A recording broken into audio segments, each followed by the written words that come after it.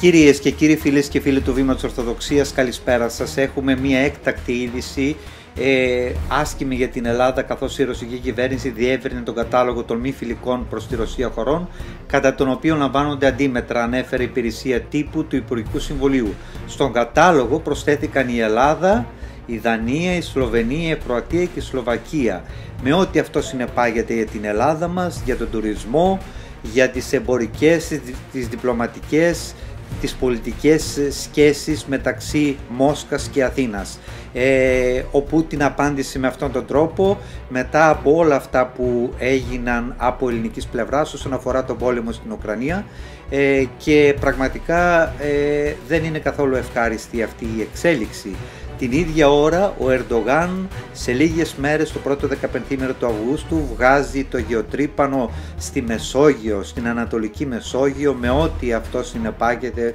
ε, φυσικά και για τη χώρα μας στην Ελλάδα. Οι παραβιάσεις έχουν ξεφύγει κάθε όριο των τουρκικών αεροσκαφών. Ε, η Ελλάδα ακολουθεί φυσικά τη διπλωματική οδό και καλά κάνει, αλλά φαίνεται ότι κάτι δεν πάει καλά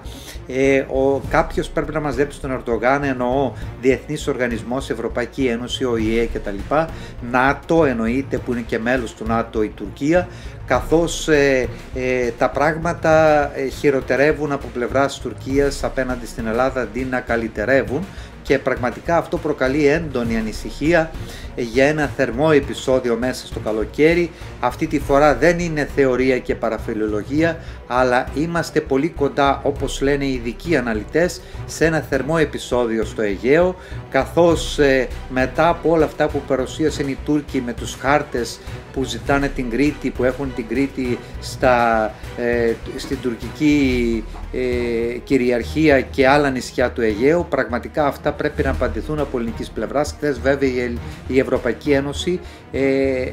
έβγαλε ένα έκτακτο ανακοινωθέν χαστούκι στη Ρωσία όσον αφορά τα κατεχόμενα, τα δύο κράτη που ζητά ο Ερντογάν και αυτό είναι ανέφικτο όπως λένε και πρέπει να σεβαστεί ο Ερντογάν τις διεθνείς συμβάσεις και να μην προχωράει σε αυθαίρετες κινήσεις και δηλώσεις όπως και εξωματούχοι της τουρκικής πλευράς που πραγματικά το τελευταίο διάστημα, τον τελευταίο μήνα ειδικά, έχουν ξεφύγει και παρασύρουν και τα τουρκικά μέσα μαζικής ενημέρωσης και έχουν